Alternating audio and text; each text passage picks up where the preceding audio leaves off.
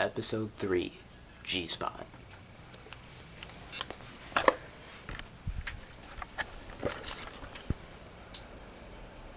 Okay.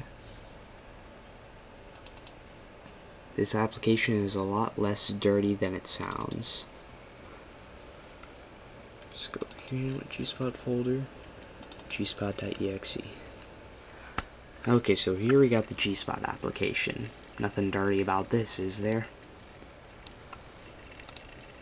What this is, uh, what this is pretty cool is it'll take a video file that you have. I'm gonna take, uh, let's see. Here it is. This is Super Mario Brothers Frustration. Love this video. Just drag it over here, and it'll scan the video and show you what codecs used on it, what the size is, if you have the codec, you know, crap like that. Of course, with this one, it's giving me all kinds of weird messages, like, I don't, like, they don't even know what codec I, got. like, if I have the codec or not. Oh well. Let me see if I can.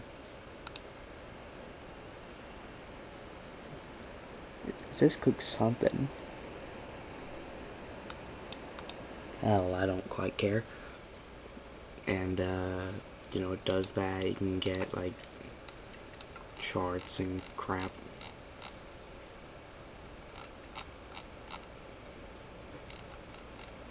Like a lot, a lot of stuff I don't really know what it is though. Your audio and video, uh,